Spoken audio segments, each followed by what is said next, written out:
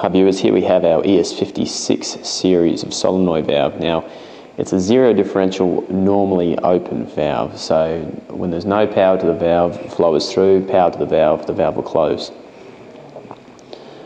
It's a 304 stainless steel body, uh, it's got an IP65 weatherproof DIN plug and coil. Great for applications such as tank drain, low pressure, vacuum, anything where you're not going to get a substantial differential pressure across the valve, this valve's great for. I'll just take it apart to show you how it works briefly. I'll take the top nut off, slide the coil off. Here we're left with the operator and body. Now one giveaway that it's a normally open valve is this little nut on the bottom of the operator. Um, normally closed valves tend not to have that. I'll take the body off and we'll, we'll show you how it works. So under these four bolts. So if I take this off, you'll see that the operator and lid of the valve comes away and we're left with the diaphragm here.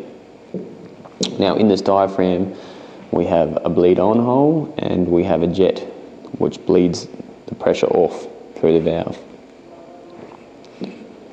So in its normally open position, there's, there's nothing covering this jet here, so the flow comes on and bleeds off. So, so it bleeds off fast and it comes on. That means the diaphragm's pushed up and we get flow through. Now how does it close? Well, up in here we have the operator and armature. Now if you see the seat here, when this armature's powered, this seat comes down and sits on the jet on the top of the diaphragm. Now that closes the bleed off.